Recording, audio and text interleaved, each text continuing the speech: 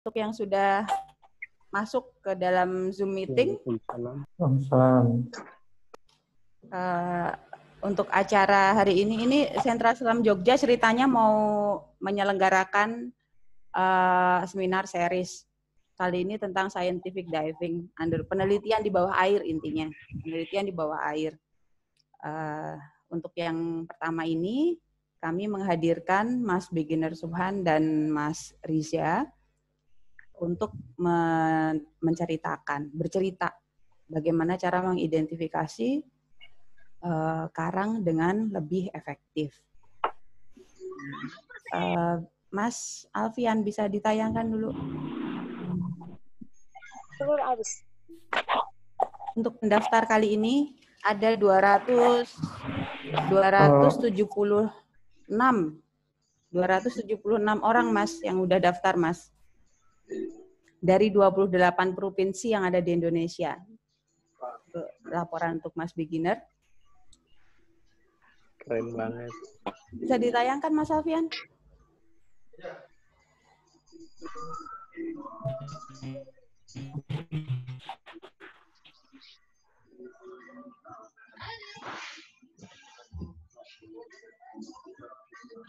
Halo Mas Alfian.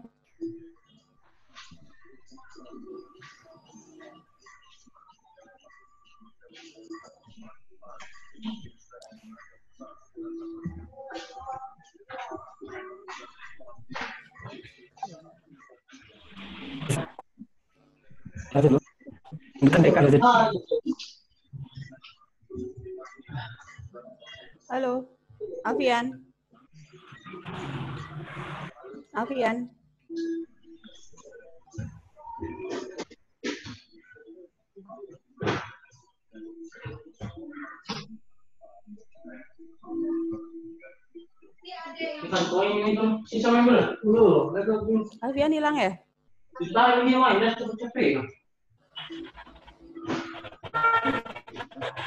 Halo, halo.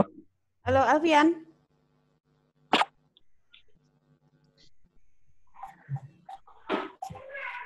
Halo Mbak Ya. Ika, bisa dengar Ya. saya Mbak Ika?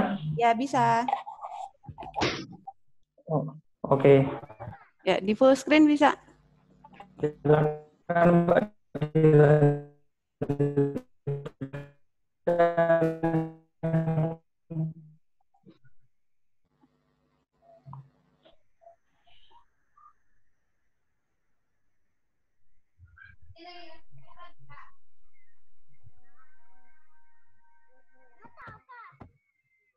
Jadi untuk eh, pendaftar hari ini tidak tidak semuanya diver dan tidak semuanya peneliti.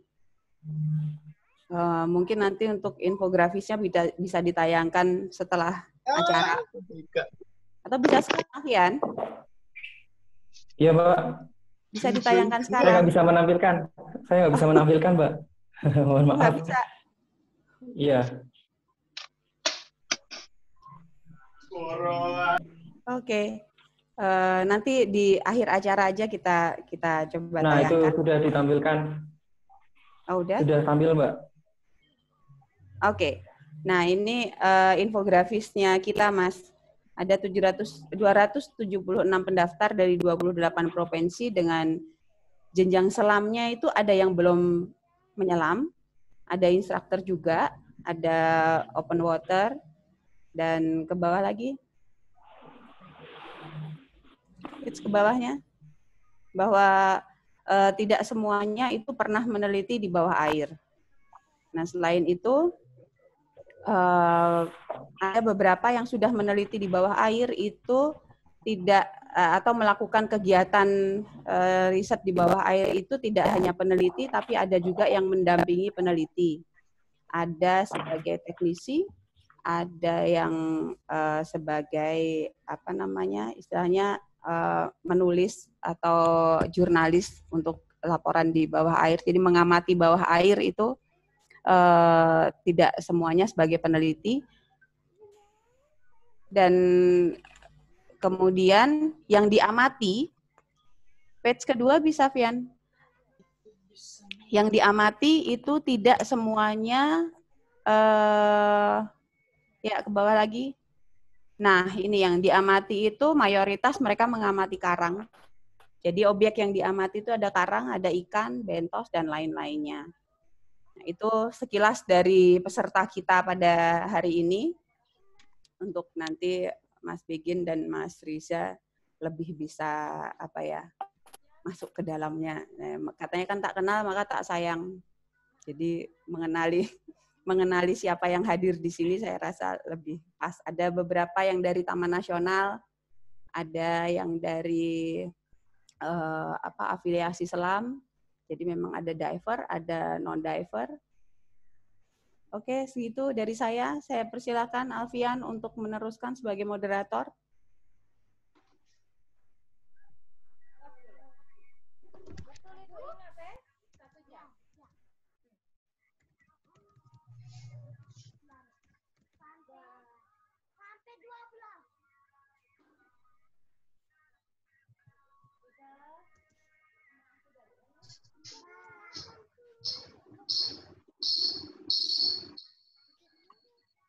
Narasumber kita hari ini ada Mas Beginner dan Mas Risa. Untuk mempersingkat waktu, monggo silakan Mas Begin. Dimulai. Ya. Assalamualaikum warahmatullahi wabarakatuh. Uh, selamat sore eh, teman-teman semua. Pertama kami ucapkan terima kasih kepada Mbak Ika nih dari Selam Jogja yang sudah apa ya memberikan kesempatan kepada kami untuk berbagi tentang eh, apa ya ya berbagi pengalaman tentang identifikasi karang. Sebenarnya udah rencananya lama ya mbak ya? Cuma karena nggak sempat ke Jogja dari, dari lama banget Pelatihan. pandemi kayaknya. Uh, cita-citanya ke sini ya mas ke Jogja. Iya ke Jogja gitu. Uh, jadi ya alhamdulillah ini kita bisa berjumpa di uh, ya berjumpa lah dalam media ini untuk tadi berbagi pengalaman terkait dengan identifikasi karang. Di sini juga ada Mas Riza uh, yang tadi kembaran saya. Lalu uh, terima kasih sekali juga di sini banyak sekali uh, senior ya. Ada Pak Budi Askaryo, kemudian tadi ada Pak Yohanes, Mas Suryo, ada Bang Abrar juga dan teman-teman yang uh, tidak bisa disebutkan satu-satu. Ya mungkin ini juga jalan kita untuk saling bersilaturahmi, saling kenal, uh, ya tentang apa ya, ya dengan teman-teman yang lain juga kayak uh, banyak sekali nama-nama yang sering berinteraksi dengan yang pernah berinteraksi mungkin dengan saya dengan Mas Riza uh, ada di sini. Terima kasih uh, uh, atas waktunya seperti itu. Nah, teman-teman kalau dari judul presentasinya memang rada-rada bombastis gitu ya. Jadi memang diminta Mbak Ika dikasih judul yang rada-rada gimana gitu ya. Tapi kan uh, bukannya kalau nggak heboh bukan begin. Jadi uh, ya dari acara ini mungkin gambaran buat uh, kita semua kami hanya berbagi pengalaman ya eh, tentang beberapa kegiatan eh, pelatihan-pelatihan yang kami lakukan bersama Mas Riza eh, terkait dengan identifikasi karang. Jadi ya ada juga tips and trick di sini yang akan disampaikan, tetapi karena waktunya terbatas mungkin tidak terlalu mendetail seperti itu. Ya, Mas Riza ya. Ya. kalau kalau full training biasanya uh, paling nggak dua hari ini. Iya, full day. Nah, uh, kita juga lagi mikirin gimana caranya bisa adain training uh, apa Coral Finder yang online tapi nggak makan kuota gitu. Ya Mas Riza ya. Oke Mas, bisa kita di-share ininya. eh, Oke, siap. Nanti saya langsung gantian aja Mas Riza. Sebentar. Saya agak-agak kurang sopan juga nih. Nyuruh-nyuruh senior nih. Maafkan saya Mas Riza. Santai. Ya, Ya, baik. mau eh, cerita? silakan. Eh, saya dulu Mas ya. Ya, boleh. Silakan. Jadi eh, judulnya adalah mengidentifikasi dengan cara eh, yang efektif seperti itu. Jadi eh,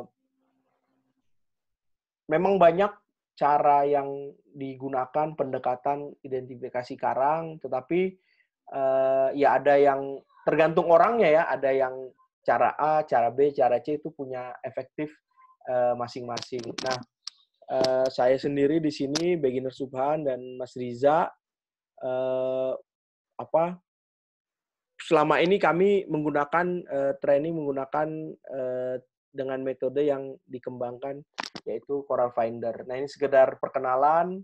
Saya beginner Subhan sekarang di IPB ya jadi kepala laboratorium selam ilmiah kemudian juga marine scientist dan scuba diver instructor. Lalu saya juga eh, co-founder untuk BioRock Indonesia, pusatnya di Bali dan sejak tahun berapa ya 2012 ya Mas Riza ya menjadi Coral Finder Ya. trainer. Kemudian eh, sekarang ya sedikit-sedikit belajar drone untuk eh, penelitian-penelitian kelautan. Nah,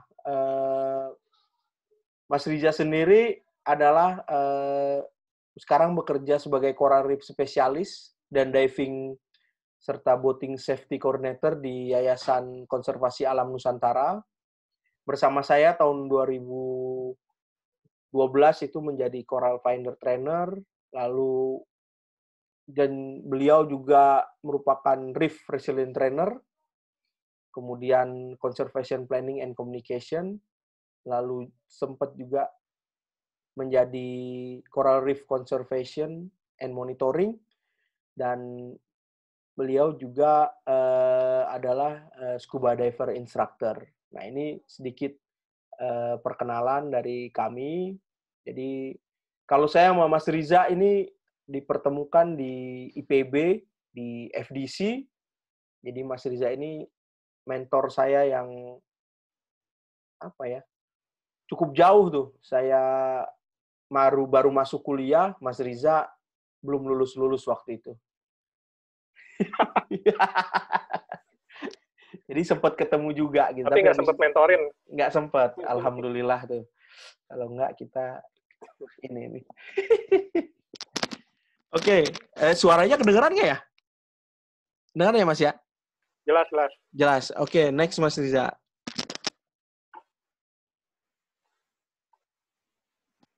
Nah, eh, kalau kita bicara identifikasi terumbu karang sendiri, sebenarnya eh, ya yang kita pelajari selama ini kan kalau di kampus di mana-mana gitu ya eh, masih eh, dalam paling banyak itu adalah survei untuk tropical marine resources gitu ya. Nah metode-metodenya memang tidak mengharuskan kita untuk mengetahui genus gitu. Nah eh, atau mengidentifikasi lebih detail sampai jenis. Nah, di Indonesia sendiri memang tidak banyak eh, orang-orang yang yang bisa mengidentifikasi sampai level jenis gitu ya. Mostly teman-teman dari LIPI itu eh, di sini ada Bang Abrar gitu ya. Itu dia bisa mengidentifikasi. Kemudian teman-teman praktisi ada Mas Suryo gitu ya yang eh, di AKI gitu atau yang di Taman Nasional itu banyak juga yang bisa mengidentifikasi sampai jenis. Kalau saya sendiri belum sampai tuh identifikasi sampai jenis. Mungkin jenis-jenis tertentu yang cuma satu jenis gitu biasanya hafal gitu ya. Nah, em, nah survei karang ini sendiri menjadi sangat penting buat Indonesia karena begitu besar eh, daerah daerah terumbu karang dan memang eh, kegiatan-kegiatan monitoring ini uh, apa menjadi salah satu kegiatan rutin gitu ya yang dilakukan di Indonesia dan juga penelitian-penelitian seperti itu. Nah, uh, selain itu dengan uh, kegiatan survei karang ini juga akan digunakan misalnya teman-teman kan sudah dibuka kembali perdagangan karang hias misalnya gitu ya. Jadi uh, perlu juga informasi jenis-jenis karang yang dijual dan lain-lain. Nah, salah satu hal yang penting adalah kaitannya dengan uh, bagaimana kita mengetahui kondisi karang kita. Misalnya pada gambar ini nih yang koral-koral bleaching yang sering terjadi pada saat ini. Nah, dengan apa kemampuan kita mengidentifikasi sampai level genus lah minimal atau jenis gitu ya. Nah, ini bisa membuat data lebih uh, presisi gitu dan data lebih presisi ini membantu juga kita dalam uh, nanti untuk uh, manajemen uh, pengelolaan daerah tersebut gitu. Nah, saat ini kan memang data-data yang diberikan uh, dalam bentuk live form misalnya atau yang lebih lebih lebih wide lagi hanya karang hidup, karang mati dan lain-lain. Nah, misalnya kalau dalam keadaan bleaching ini nanti kita akan tahu jenis-jenis apa saja atau genus-genus apa aja yang rentan yang yang rentan terhadap uh, perubahan iklim misalnya seperti itu. Nah, jadi um, di sinilah kenapa akhirnya uh, pelatih apa uh, pengetahuan atau informasi atau skill set terkait dengan identifikasi karang ini menjadi uh, penting. Nah, satu hal juga misalnya uh, tadi mau mengadakan restorasi terumbu karang misalnya, itu juga perlu ditunjang tadi supaya tahu jenis apa yang ditanam dan responnya terhadap uh, transplantasi atau terhadap lingkungan itu seperti apa. Nah, ini bisa didukung dengan pengetahuan tentang uh, identifikasi karang seperti itu. Next.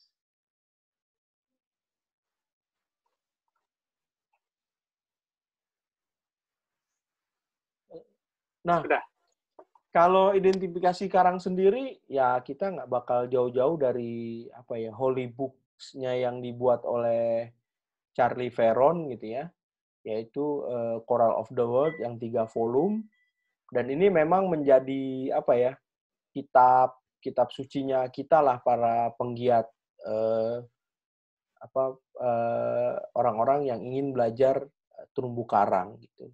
Nah, yang yang dan buku ini informasinya cukup banyak dan cukup detail yang kadang apa ya yang dalam bentuk buku dan bukunya juga keberadaannya terbatas di Indonesia sehingga eh, apa kadang-kadang kita juga sulit gitu. Saya juga kadang-kadang apa ya kalau nyari karang di buku Veron ini kayak apa sih?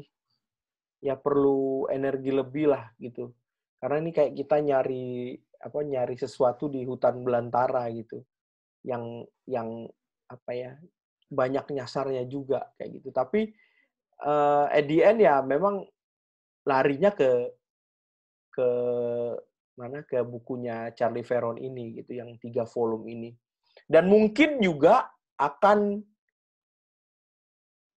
apa ya akan berubah juga uh, apa identifikasi karang di dunia ini gitu seiring dengan uh, berkembangnya ilmu molekuler dan kecanggihan teknologi sehingga uh, pengelompokan karang ini akan bukan akan sudah terjadi perubahan-perubahan baru seperti itu. Jadi ilmu identifikasi karang sendiri akan update terus gitu sesuai dengan uh, kondisi zaman sekarang. Lanjut. Nah, apa yang uh, ya apa yang disampaikan oleh uh, di buku Color of the World ini seperti tadi saya bilang dia ini uh, ya kita ketika masuk di situ dia terlalu detail dan semua variasi itu dijelaskan di sana gitu. Ya, jadi eh, kadang-kadang jadi kita malah nyasar gitu untuk nyari apa karang yang kita temui gitu. Nah, eh, pada saat ini sudah nggak ada bukunya gitu, bukan nggak ada ya, udah nggak diperbanyak cetakannya dan sudah ada eh, sekarang portal online ya eh, yang coraloftheworld.org gitu yang yang pengganti dari buku ini. Mungkin ini jawaban untuk kondisi kita sekarang yang nggak mungkin kita uh, bawa-bawa buku gitu ya. Dan uh, walaupun apa online dia juga uh, lumayan agak ya sebenarnya dari sistem buku itu dirubah uh, menjadi online gitu. Jadi uh, informasinya kalau buat yang sudah level apa memang sudah level spesies atau level genusnya udah bagus ini akan sangat membantu tetapi buat yang awam ya yang benar-benar baru belajar tentang identifikasi karang langsung dikasih buku Veron itu akan ya akan lemes juga gitu ngelihatnya gitu. Kayaknya uh, apa uh, ya menjadi apa ya perlu energi lebih lah untuk untuk untuk melihatnya gitu. Karena tadi bukunya sangat bagus. Jadi butuh apa ya kayak Mas Riza untuk mengeksplorasi ini butuh untuk apa ya mengenal genus atau spesies dia butuh waktu cukup lama gitu ya Mas Riza ya.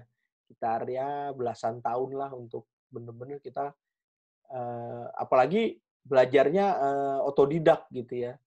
Yang ya belajar lihat sampel tanpa ada uh, apa panduan-panduan yang yang lebih lebih simpel gitu untuk mengidentifikasi gitu. dan tidak terlalu serius juga soalnya. Nah ya kecuali memang apa butuh waktu yang spesifik untuk mempelajari mempelajari ini. Jadi ya teman-teman yang ingin belajar ya buku Veron ini atau Coral of the World ini jadi jadi hal yang sangat penting untuk dipelajari. Seperti selain itu banyak juga buku-buku lain yang misalnya dibuat oleh yang seingat saya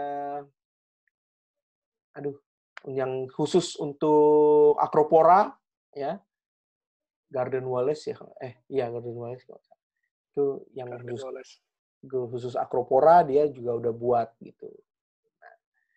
Dan Fungide juga ada itu oleh Huxema ya, Bert Huxema dia juga uh, bikin uh, buku Fungide. Nah, jadi uh, itu yang ya teman-teman yang punya interest uh, spesifik satu genus, satu family itu bisa juga seperti itu. Untuk belajar ada buku-buku panduannya seperti itu. Lanjut, Mas.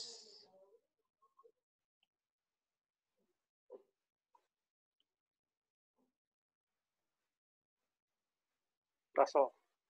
Iya. Uh, nah, pada tahun 2000 berapa ya, kami bertemu dengan, sebenarnya Russell udah bikin buku Coral Finder ini tahun berapa ya Mas Rizya? Tahun 2010-an kali ya?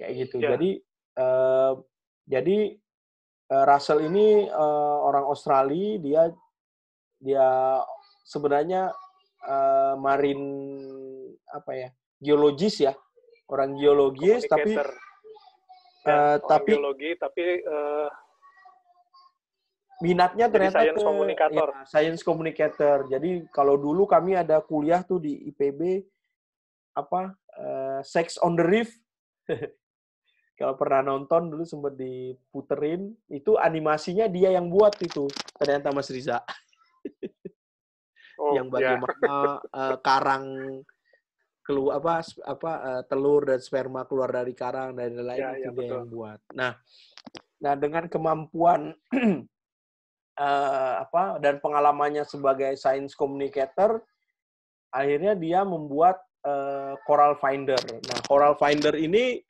um, apa ya tadi menyederhanakan uh, pengenalan karang, tapi levelnya sampai genus. Yang dari Veron tadi yang ya seribu mungkin ya seribu halaman gitu ya seribu lebih halaman dipampatkan lagi menjadi sekitar 20 atau 29 halaman untuk uh, apa mengenali atau menjadi uh, guideline untuk uh, identifikasi karang. Gitu. Nah dari sini dia hanya membuat khusus yang uh, Indo-Pasifik. Jadi uh, memang di daerah kita berarti. Nah, ini sangat uh, membantu dengan apa yang dia buat. Jadi dia membuat ini juga passion aja gitu. Jadi uh, dia buat terus ada kalau ada donor yang membiayai dia ya dia terima tapi kalau nggak ada ya dia dalam mencetak buku dan lain-lain dia gadein apa rumahnya nggak salah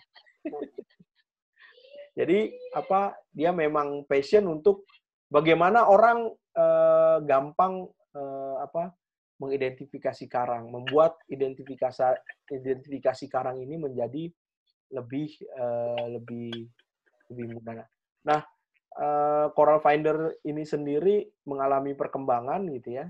Jadi apa sih yang ada di Coral Finder? Next, Mas.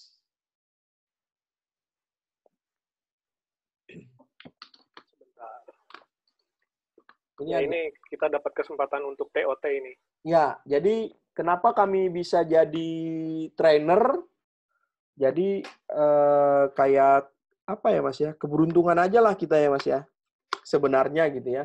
Uh, Jadi dia dapat karena TNC uh, eh, punya waktu itu TNC punya program akan mengadakan training untuk Coral Finder di Bali gitu.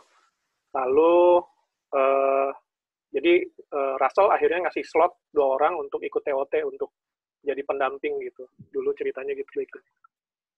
Iya, jadi TOT kita TOT-nya di Fiji gitu ya dan ya di situ sama ada orang LSM dan lain-lain. Nah, jadi karena dia orang Australia ke Fiji itu uh, ya lebih deket juga gitu.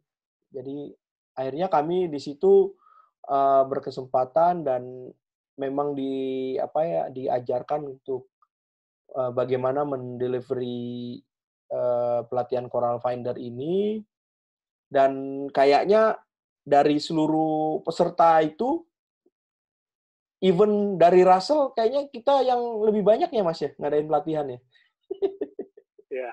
di, di di nanti kita sebutkan ini. di dunia di di ya di dunia ini. Jadi di Asia Pasifik lah.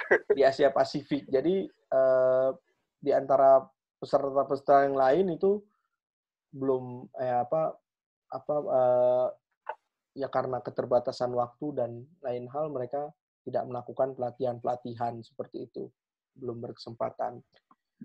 Nah ini uh, lanjut. Ini ada Emre juga kita dapat kesempatan uh, belajar langsung dengan Emre Emre Turak.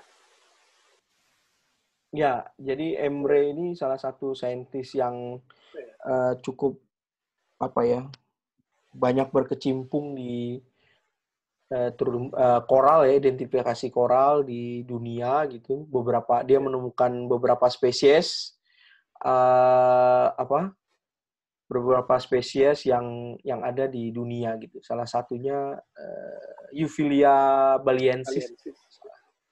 Nah ini yang apa uh, ya cukup leading dan ternyata koral spesialis ya taksonomis di dunia itu uh, ya tua-tua gitu.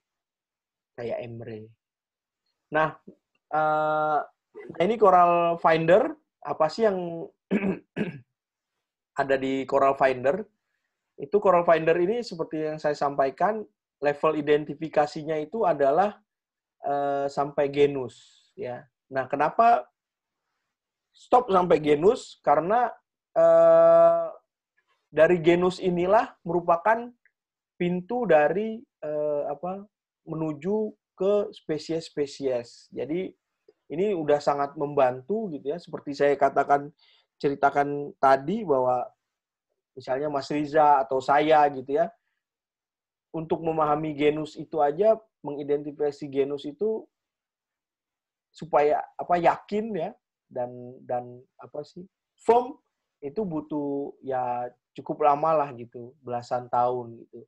Nah dengan dengan kemampuan uh, atau dengan panduan dari Coral Finder ini ini membantu kita itu sampai genus dengan dengan cepat gitu nah kenapa bisa dengan cepat gitu ya jadi uh, di Coral Finder sendiri itu hanya dia benar-benar uh, menampilkan ciri khususnya. Dan kita nggak perlu menghafal sebenarnya. Jadi Coral Finder ini ya kita ngikutin workflow-nya, cara ngebacanya gitu ya, dan mengenali karakter-karakter kunci gitu. Nah, jadi karakter kunci ini nanti bisa nanti udah tahu porites untuk tahu tahu jenisnya, tetap kita akan melihat ke uh, Coral of the World gitu. Di sini juga dia tidak tidak memisah apa ya, tetap uh, menjadikan ref, apa Coral of the World ini menjadi reference di di di sana gitu. Jadi uh, benar-benar menjadi suatu guideline buat kita untuk mempermudah masuk ke level uh, spesies setelah uh, kita mengetahui genusnya seperti itu. Jadi uh, tadi core of the word dia detail karena memang dia identifikasi informasinya infor, identifikasi genus kayak gitu. Next, mas.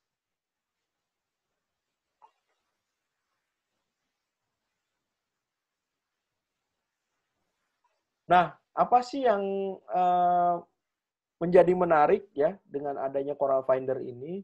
Ada beberapa proses yang uh, apa ya mempermudah kita dalam uh, mengenai apa mengenali karang di genus. Nah untuk Coral Finder ini untuk versi kedua ya yang 2.0 ini dia bisa dibawa ke bawah laut. Jadi kita bisa benar-benar apa mengidentifikasi karang itu dengan apa panduan Coral Finder di di laut gitu. Jadi dia eh, apa anti air. Nah, setelah tahu kalau kita ingin tahu setelah dapat genusnya, kalau kita ingin tahu spesiesnya, kita ke Coral of the World. Itu yang Coral Finder 2. Sedangkan uh, Coral Finder 3 ini kelebihannya adalah uh, dia mem banyak informasi foto yang baru diupdate, kemudian juga mengajarkan bagaimana cara mengambil foto di bawah air sehingga bisa diidentifikasi ya di di Coral Finder. Jadi sebenarnya untuk sampai genus tinggal apa teknik fotografinya aja yang diperbaiki. Misalnya harus ada skalanya gitu ya. Jadi dibuat beberapa foto, ada close up, middle shoot sama uh, wide angle-nya gitu. Nah, ini bisa dengan uh, Coral Finder ketiga atau kedua itu bisa diidentifikasi. Nah, Coral Finder ketiga ini dia uh, nggak waterproof gitu, nggak kayak uh, versi 2 dan versi satunya. Jadi uh, dan sekarang saat ini yang banyak beredar adalah yang Coral Finder 3 gitu, yang diperjualbelikan. Nah, dari Coral Finder sendiri kita bisa mengidentifikasi hampir dari eh, uh, 70 genera yang ada di Asia Pasifik. Jadi teman teman-teman dengan apa dengan uh, pelatihan sebenarnya kalau pelatihan sendiri sih sebenarnya membantu mempercepat aja dalam memahami bagaimana proses uh, identifikasi di Coral Finder ini seperti itu. Nah, setelah kalau kita memahami kita bisa uh, mengidentifikasi ya hampir dari uh, 70 genera yang ada di Asia Pasifik gitu. Jadi ini sangat-sangat membantu informasi misalnya ini pun uh, Coral Finder ini bukan tadi ya cocok sekali dengan apa yang yang ya siapa aja yang hadir di sini. Jadi ini untuk orang yang benar-benar pemula itu bisa gitu. Ya, jadi nggak harus uh, orang yang sudah terlatih dan udah ada informasi lebih awal. malah lebih mudah melatih yang baru gitu. Karena dia belum ada apa uh, informasi awal yang mungkin akan uh, berbeda dengan sistem di Coral Finder gitu. Nah, jadi jangan khawatir ini bisa digunakan oleh orang awam sekalipun kayak gitu. Nah, jadi uh, ya ini sangat apa ya sangat mudah karena dia apa ya visual visual tools ya tulisannya sedikit dia banyak uh, gambarnya seperti itu lanjut nanti Mas Riza akan cerita pengalaman kami hasil-hasil uh, pelatihan kami uh, seperti apa gitu lanjut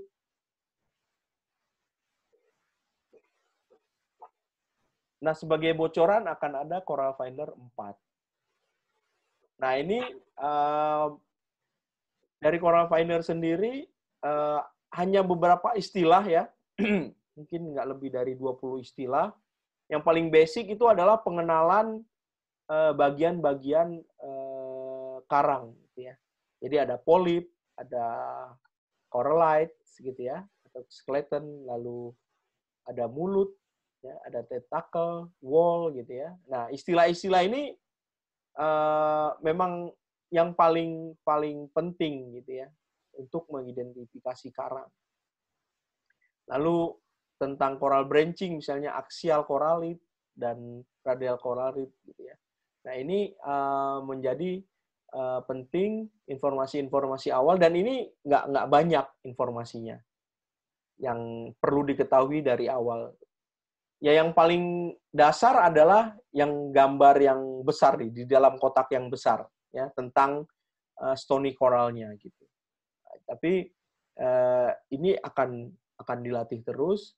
Pada intinya mengidentifikasi karang adalah tadi melihat uh, koralit ini. Sama beberapa tips pada genus-genus tertentu itu uh, apa?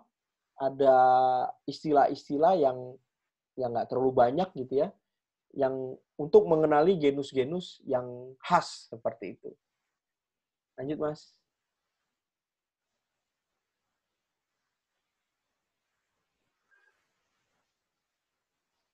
Ini agak lag Sudah? karena Nah, oh. ini uh, beberapa pelatihan yang kami lakukan ini yang paling kiri apa kiri bawah ya atau kanan bawah ini itu di Tulamben itu yang pertama kali yang pertama. Di, di Indonesia uh, bulan apa ya Mas ya? November ya? November. November 2012. 2012. Ya, kemudian uh, di Wakatobi ya.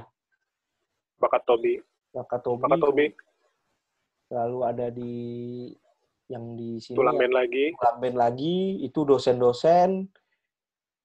Terus di Wakatobi lagi gitu ya dengan dosen-dosen juga di dan stakeholder di Wakatobi lalu di eh, mana di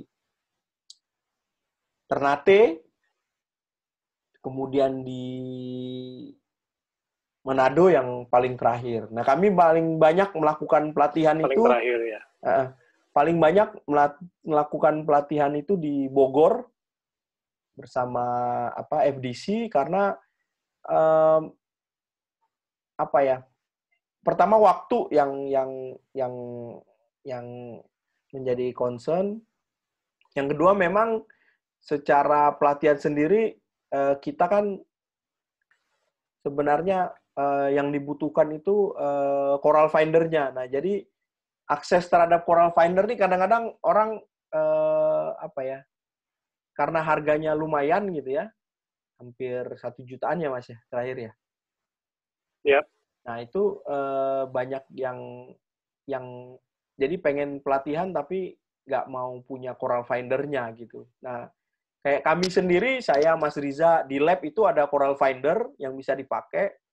Cuma memang uh, beberapa seperti saya katakan di awal tadi sama Mbak Ika, waktunya aja yang nggak pas gitu. Dan biasanya ya pelatihan ya free-free aja ya Mas ya. yang penting kita uh, apa ya kita siap di bisa makan sama tidur. Nah, itu tadi akomodasi misalnya selama di sana seperti tempat pelatihan sama transport menuju sana itu uh, ada yang menanggung gitu loh. Jadi karena kami pun mendapat pelatihan ini ya free gitu, nggak nggak membayar gitu ya, dan nggak ada cici apa iuran wajib untuk sebagai trainer gitu. Kami sih berharap uh, apa akan ada kami akan mungkin ya Mas ya menginisiasi training for trainers ya untuk yang Coral Finder ya, nanti itu ini bocorannya. Tapi kita pakai uang sendiri-sendiri. Jadi mendatakan Russell nah dia pakai duit dia sendiri. Kita juga bawa pakai duit kita sendiri. Terus uh, pelatihan sama dia gitu. Nah nanti tunggu apa ya nanti kami akan infokan lah itu uh, kapan gitu. Ya mudah-mudahan banyak yang bisa ikut. Jadi orang yang bisa melatih itu jadi lebih banyak gitu dan ini benar-benar ya kita menjadi ya informasi tentang terumbu karang di kita jadi lebih banyak. Lanjut Mas. Ya sebagai tambahan info aja, eh, jadi sejauh ini kita sudah melaksanakan eh, lebih dari dua kali 12 kali workshop dan eh, peserta yang dilatih itu lebih dari 200 orang saat ini yang tercatat di kami walaupun uh, mungkin yang masih menggunakan entah berapa persen ya kita belum dapat belum bikin uh, analisisnya iya betul. Ya ya memang Lanjut. keunikan pelatihan pelatihan di kita ini kan uh, misalnya ada dari Pemda atau dari uh, NGO misalnya gitu ya. Itu pas dikasih pelatihan eh ternyata dia pindah bidang misalnya gitu. Nah, jadi akhir akhirnya dia eh, nggak uh, yang nggak memakai apa ya untuk misalnya untuk monitoring atau apa gitu. nah ini uh, beberapa pengenalan-pengenalan di Coral Finder ya. Jadi berdasarkan visual ya, misalnya yang uh, misalnya karang bercabang gitu ya. Nah definisi dia punya definisi uh, khusus apa yang ya cukup cukup uh, berbeda gitu ya. Dia punya sistem sendiri. Jadi karang bercabang ini ya apa aja yang bercabang gitu loh. Jadi atau cabang yang rada gemuk itu ya bercabang nyebutnya gitu. Kemudian pendekatan lain misalnya berdasarkan koralitnya gitu ya. Kalau dia bengkok-bengkok ya, bengkok melekuk-melengkuk itu uh, disebutnya meander gitu. Nah, ini uh, tanpa melihat bentuk pertumbuhannya. Misalnya dia karang yang bentuk seperti bola, misalnya kalau kita sebut sih uh, karang masif misalnya. Tetapi uh, kalau dia misalnya ada bentuk apa di situ kayak melengkung-melengkung, nah itu disebut apa arahan key identifikasinya, kunci identifikasinya adalah uh, apa uh, berliku-liku ya atau meander gitu. Ada juga misalnya berdasarkan kemunculan uh, apa polipnya gitu. Nah itu juga uh, jadi uh, ciri khas ciri khas yang benar-benar terlihat oleh mata kita. Jadi istilahnya apa ya visual decision tools gitu. Jadi benar-benar dia Coral Finder ini visual, kata-katanya nggak banyak gitu. Jadi kita mengidentifikasi uh, benar-benar ke sana gitu. Lanjut mas.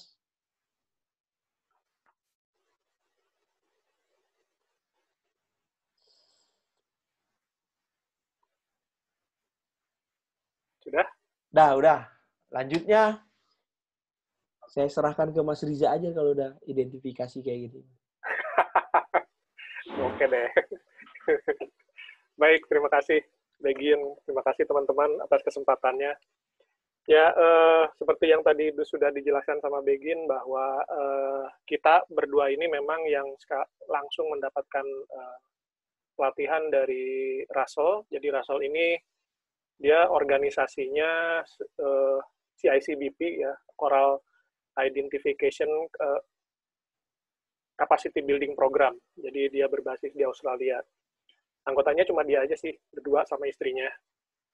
Lalu ya ya uh, kita bersyukur kita mendapatkan pelatihan itu dan uh, bisa segera menerapkan uh, apa yang sudah kita dapat berbagi dengan teman-teman untuk uh, gimana ya maksudnya mempermudah bagaimana cara mengidentifikasi karang dan mengidentifikasi uh, karang yang paling tepat yang pertama kali menurut kami adalah ya udah indranya aja dulu gitu. Jadi setelah mendapatkan indera baru kita akan bisa mengidentifikasi lebih lanjut lagi, lebih dalam lagi ke uh, spesies. Jadi ini sebagai contoh nih ya. Jadi tadi sudah dijelaskan juga bahwa uh, veron itu uh, lebih terstruktur berdasarkan uh, spesiesnya gitu ya. Tapi tidak menjelaskan uh, variasi dalam spesies tersebut. Saya ambil analogi untuk uh, mungkin teman-teman ada yang pernah mengidentifikasi ikan ya pada saat mengidentifikasi ikan uh, yang menjadi ciri utama mungkin uh, warna, bentuk, pola. Dan ini untuk karang itu sangat berlawanan. Kita nggak boleh percaya dengan warna, nggak boleh percaya dengan bentuk, nggak boleh percaya dengan warna. Jadi untuk spesies yang sama itu bisa berbeda warna, bisa berbeda bentuk tergantung dengan uh, kondisi habitatnya atau lokasinya. Ini sebagai salah eh, salah satu contoh. Jadi tadi sudah disebutkan bahwa pada saat mengidentifikasi sebaiknya kita melihat dari jarak yang uh, keseluruhan koloni ya di sini. Kemudian kita dekati uh, kunci dari identifikasi ini untuk yang koral ini karang karangnya bercabang ya itu apakah dia punya aksial atau tidak. Pada saat tidak ada aksial koralit, berarti dia masuk ke kategori yang lain. Sebagai contoh ini, ini bukan tidak memiliki aksial koralit, kemudian ukuran koralitnya kecil, berada di sela-sela dan di tonjolan-tonjolan ini, lalu kita membandingkan ke Coral Finder. Nah, di dalam Coral Finder, halaman paling depan itu adalah uh, halaman kemiripan. Jadi, uh, istilahnya Russell itu look alike page. Jadi, kalau kita terjemahkan ke bahasa Indonesia itu halaman kemiripan. Jadi, ini kelompok kuncinya. Nah, ini ada kelompok kunci, ada 1, 2, 3, 4, 5, 6, 7, 8. Nah, untuk yang branching itu menempati yang paling atas. Jadi, karang-karang bercabang ada di sini semua dan dia dibedakan antara dibagi dua ya. Ini seperti kalau kita mengidentifikasi apa namanya um, taksonomi ya maksudnya. Jadi ada kalau ada aksial koralit lihat halaman satu. Kalau tidak ada aksial koralit maka ini ada pertanyaan berikutnya ukuran koralitnya kurang dari dua atau di atas dua atau percabangannya irregular atau angular. Nah di sini karena ini uh, sebetulnya kurang begitu jelas ya di sini, tapi kalau uh, kita di alam, kita akan bisa mengamati uh, secara langsung. Kita biasanya menggunakan bantuan kaca pembesar uh, untuk melihat uh, koralitnya ada di mana. Nah, koralitnya di sini misalnya uh, kurang dari 2, 2 mm, jadi masuk ke halaman 2 dan 3. Kita buka lihat uh, kita buka Coral Finder, inilah halamannya.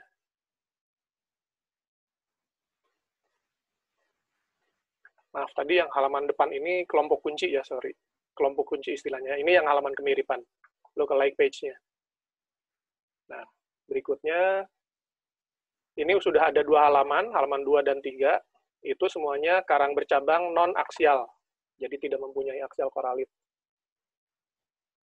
dan tujuan eh, dan dituju setelah di scan akhirnya kita melihat ada yang paling mirip ini Pochilopora dengan berbagai macam variasi bentuk dan ukuran. Jadi ini yang uh, wide angle, ini medium, ini dengan kondisi di zoom. Nah ini koralitnya kita bisa lihat di halaman uh, Coral Finder ini itu ada kotak segitiga dengan angka. Itu adalah uh, biasanya menunjukkan ciri-ciri spesifik dari uh, dari uh, genus tersebut. Dan kotak yang kuning ini adalah ukuran sebenarnya. Jadi ukuran sebenarnya sebenarnya dari uh, karang yang kita periksa. Kalau di sini mungkin jadi kelihatan lebih besar ya, kalau di layar uh, uh, monitor Anda. Tapi kalau di Coral Finder itu adalah ukuran yang sebenarnya. Jadi kalau 1 mm di sini, itu sama dengan 1 mm di uh, dunia nyatanya. Nah, kemudian di paling kanan ini adalah uh, karakteristik kunci. Jadi, uh, yang terutama yang di huruf tebal ini, itu merupakan karakteristik kunci dari uh, genus yang dituju. Nah, di sini ada angka 2, 2 ini yang menunjukkan dari segitiga kuning tadi. 1, 2, dan 3. Ini tentakel dan sebagainya. Jadi misalnya ini uh, fuzz of fine, fine tentacle. Jadi tentakelnya yang halus atau uh, uh, lembut gitu ya. Nah, kemungkinan ini misalnya ada beberapa contoh spesiesnya, Posilopora damicornis, Verrucosa, Eduxi, dan seterusnya. Dan kelebihan dari uh, Coral Finder ini, ini bisa mengacu ke Coral of the World. Jadi di sini kalau ada kode misalnya COTW V2 P2445. Itu artinya Coral of the World volume 2 page 24 to 46 eh 45. Jadi halaman 24 ke 25. Kalau teman-teman uh, lihat di di layar saya, ini saya ambil satu uh, buku Coral of the World. Ini volume 2 ya. Volume 2, halaman 24. Ya. Ini. Halaman 24, Pochilopora di sini, kelihatan nggak? Sampai halaman 45. Dan ini yang bisa kita arahkan. Maksudnya kita mengarah ke spesiesnya dari dari sana.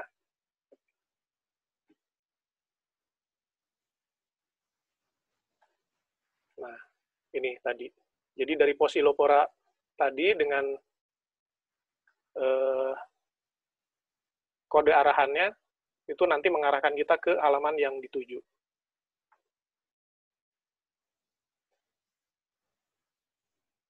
Nah, selain tadi disebutkan bahwa Coral of the World yang versi cetak ini memang sudah tidak, tidak dijual, tetapi uh, versi online-nya sudah ada, sudah bisa diakses. Um, cuma memang tidak semudah membalik halaman-halaman buku ya, jadi kita harus ngetik dulu spesiesnya yang uh, atau genusnya yang akan kita cari, kemudian dilihat listnya, drop down-nya, dan kita lihat satu-satu. Kalau internetnya kenceng, mungkin lebih bisa lebih cepat. Tapi kalau di daerah yang uh, internetnya agak lambat ya mungkin agak sulit juga ya. Uh, mungkin agak kurang praktis gitu. Tetapi tidak uh, dari sini saja mungkin bisa ada beberapa uh, website lain yang mengacu untuk ke identifikasi spesies. Nah, uh, di Coral Finder ini dalam pelatihan kita juga menggunakan beberapa video pelatihan ya. Teman-teman bisa di uh, masuk ke uh, websitenya BYO Guides di mana ini uh, websitenya Russell yang uh, tempat dia jualan gitu ya. Jualan Coral Finder jualan uh, Refinder juga. Jadi di sini ada resources ya. Jadi resourcesnya itu Coral Finder Resources ada video pelatihan di sini. Ini yang bahasa Indonesia.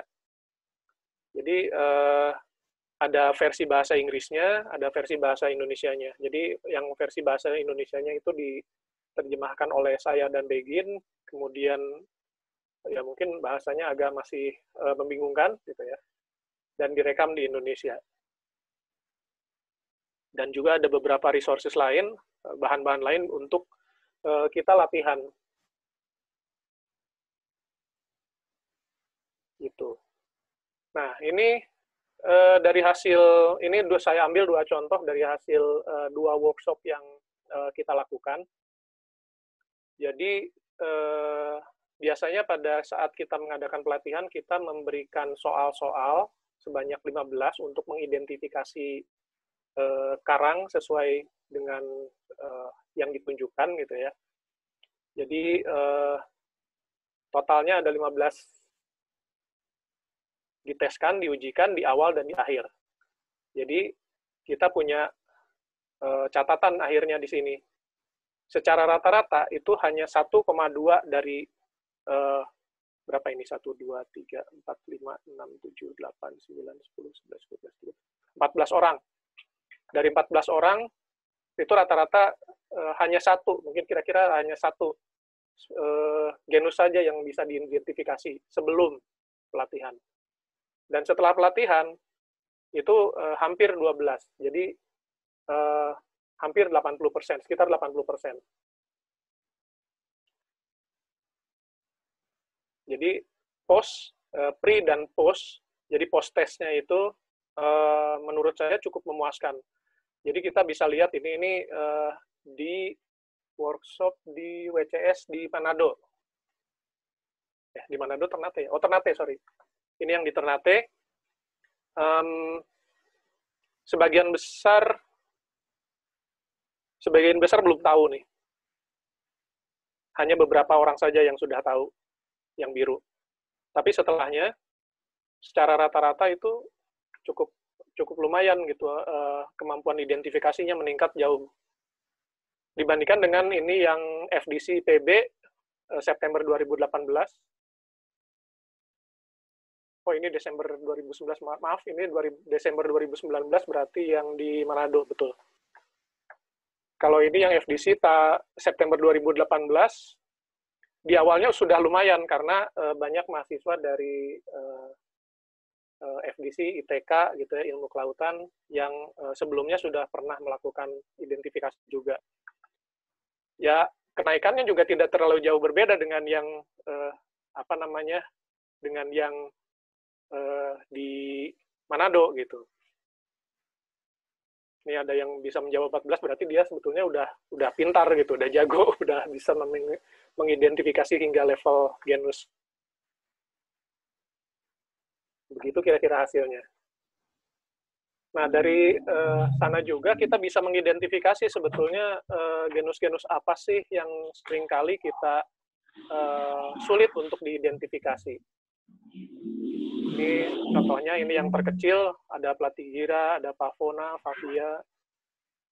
Ini juga ada yang Montastrea, Montes, uh, Montipora, Favia.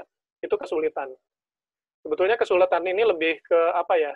uh, mungkin karena jadwal pelatihannya yang agak padat, jadi uh, peserta pelatihan itu seperti dicekoki dengan bahan yang sangat banyak gitu. Jadi sering kali mas ada ada beberapa tips dan trik yang terlupa. Gitu. Ini misalnya ini pavona, uh, ini platigira, platigira ini favites sorry, ini favites, uh, montastrea, pavia,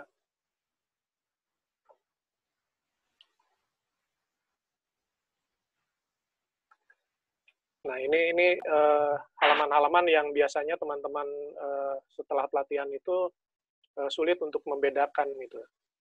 Tetapi jika kita cukup jeli uh, dan mengikuti uh, karakteristiknya sebetulnya uh, akan mudah dibedakan. Hanya butuh ketelitian. Ini juga sama Jadi ada Samokora, Cosinarea, Pavona, Porites, Favites, Goniastrea, dan seterusnya.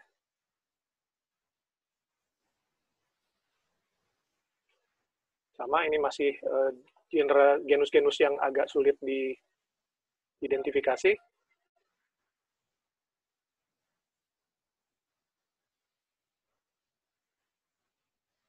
Ya, mungkin dari saya itu sih saya kembalikan ke moderator. Baik, terima kasih Pak Riza atas paparan dan sebelumnya kita juga sudah mendengarkan paparan dari Pak Beginner Subhan dan mohon maaf karena saya baru bergabung karena tadi saya kehilangan sinyal. Terima kasih buat Baika yang sudah meng-backup saya tadi. Uh, sungguh paparan yang jelas menurut saya, apalagi uh, penggunaan Coral Finder itu akan sangat mengurangi waktu bagi para pen peneliti untuk mengidentifikasi jenis karang. Bahkan kalau bisa saya bandingkan, penggunaan Coral Finder itu mirip dengan kita membaca memindai. Jadi kalau kita mencari kata tertentu dalam kamus akan sangat cepat kalau kita menggunakan teknik membaca memindai. Jadi Coral Finder ini semacam shortcut untuk kita mengetahui identifikasi secara lebih akurat. Gitu ya kira-kira Pak Begin dan Pak Rizya. Nah, sebelum saya um, membacakan pertanyaan-pertanyaan dari para partisipan, uh, saya ingatkan kembali buat peserta yang belum menuliskan form daftar hadir untuk segera menuliskan dan kami mohon maaf apabila di awal penyelenggaraan tadi terdapat kendala teknis. Uh, untuk teman-teman yang bergabung di YouTube juga silakan bisa mengisi daftar hadir. Dan berikutnya ini ada pertanyaan dari Mas Bobi. Eh, kira-kira kapan sih akan diselenggarakan pelatihan atau mungkin Pak Riza dan Pak Begin punya jadwal sendiri, tidak harus menunggu dari Pak Kelly gitu kira-kira. Bagaimana? Kapan ya? Ini uh, kita juga sebetulnya terkendala dengan uh, situasi pandemik sekarang ya. Jadi okay. sebetulnya uh, saya sudah uh, terakhir terakhir melakukan training itu di saya diundang oleh teman-teman dari BPSPL Denpasar itu bulan Maret. Jadi pada saat saya pulang itu langsung lockdown, langsung saya oh, okay. karantina di rumah. Okay, itu okay. yang terakhir. Itu pun sebetulnya pada saat saya berangkat juga agak was-was gitu karena kan sudah sudah ada uh, penyebaran gitu ya di Indonesia sudah ter uh, benar. pasien satu dua tiga itu. Ya, jadi uh, ya saya sih uh, berharap uh, sangat besar ya, maksudnya uh, pandemi ini bisa berlalu dengan segera. Amin, amin. Ya benar Pak, itu harapan kita semua. Betul, udah kering nih insang. ya, udah pengen kena air laut lagi. iya. Begin ada mungkin tambahkan. Kalau uh, pelatihan kita sih um, ya pengen segera ya dan memang ada pemikiran hmm. untuk hmm. pelatihan online cuma memang eh, kendalanya kan kalau pelatihan online ini kaitannya eh, Coral Finder-nya kayak gitu. Nah, jadi Oh ya, oke. Okay. Jadi kalau teman-teman yang ya mumpung di sini gitu ya, kami sih membuka aja yeah. pelatihan. Kalau yang teman-teman yang punya Coral Finder, yang sempat punya dan mau refresh mm -hmm. lagi, itu bisa kita buka untuk pelatihan. Kapan pun ya, Mas Riza ya. Jadi ya karena eh, nggak uh, mungkin uh, Coral Finder-nya sendiri kita scan gitu ya, karena memang uh, apa Eh, dari Russell sendiri seperti yang kami sampaikan tadi bahwa dia bikin buku ini memang ya passion dan apa sih modal modal sendiri kayak gitu gitu. Jadi kita ya, hak cipta juga kalau kita ya, menyekan kan Pak. Hak cipta. Jadi pelanggaran. jadi uh, kalau ada yang punya gitu ya yang ingin merefresh atau apa kita silakan aja untuk Oke. Okay. Kita inisiasi apalagi online kayak gini kan enak sebenarnya kayak gitu. Itu sih. Iya, benar sekali. Nah, kemudian ada pertanyaan dari Sofian Siregar, di manakah dapat buku Coral Finder? Tadi kan sudah dijawab juga di www.byoguides.com. Nah, apakah ada website lain atau mungkin pasar lain untuk kita mendapatkan buku ini? Saya boleh share ini aja ya. Uh, oh ya, silakan Pak. Sudah lihat ya? Belum. Belum, Mbak.